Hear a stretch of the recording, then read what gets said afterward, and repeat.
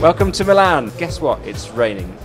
We're in Dezeen Studio, powered by Jambox at Most, and Most is the spectacular series of exhibitions that Tom Dixon has put together in the Museum of Science and Technology. And we're going to be broadcasting a mini TV show every day from the studio and publishing it at dezeenstudio.com.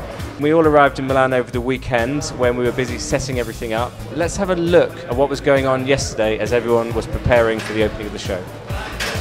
So here we are, it's Sunday afternoon and it's the last day of preparation. Um, our studio is nearly finished. Dezeen Studio powered by Jambox at most. Our nearest neighbour is Tom Dixon. This is all his stuff here. Big lighting show going up. Someone with a broken stapler. Is Gabe from fuseproject in California. Hi Gabe. How are you? How are you doing? So what are you setting up here, Gabe? We are working on Jambox. So we brought out White Jambox, a new edition, and um, we're going to have three towers throughout the most site, and we'll play music for all the different installations throughout the site. This is going to be some kind of ice cream workshop. Tokyo Bikes. More Tom Dixon lighting. And now you see where we are, it, it really is a science and technology museum. There's some jet fighters there. A submarine. So here we are in the train shed, and this is where Tom Dixon is setting up uh, a big machine that will make chairs. It's a big punch and metal press, and they'll make chairs and give them away later in the week. It's a functioning museum, so there are tourists all over the place as well. Down here is a new French brand called La Chance. They're still setting up their work, but they've been people are talking about them quite a lot. Hi, are you La Chance? Uh, we're trying to be. we are currently installing everything and dealing with all the minor details that you have to deal with when you are launching a brand.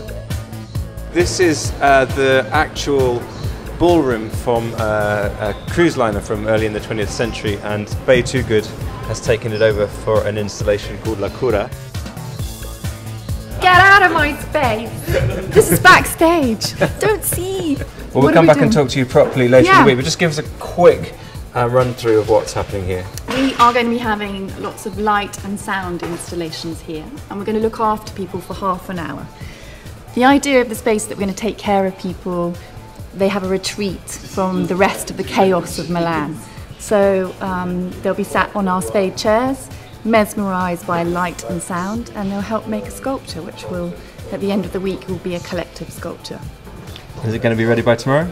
I'm a bit worried, but it al- it's always it's always okay on the day. We'll leave you to it then. Thank you. you Bye.